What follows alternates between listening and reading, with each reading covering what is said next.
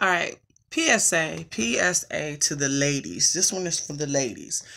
If you are going to choose to wear a white bra and the straps are going to be exposed, please make sure the bra is clean.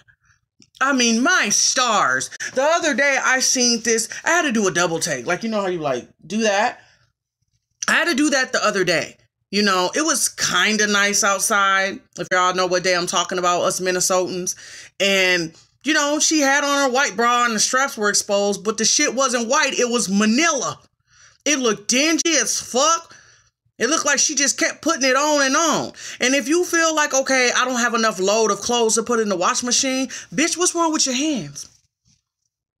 You know, go back to the old school days. Wash that bra out in the sink. Get you some bleach and wash, okay? Get it together, ladies.